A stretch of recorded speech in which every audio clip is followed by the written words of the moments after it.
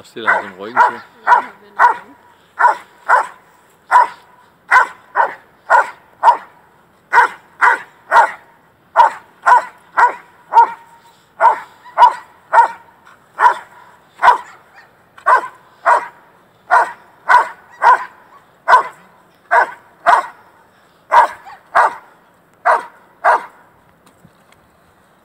Kan du se en anderledes tæt bevogtning, der er til sidst?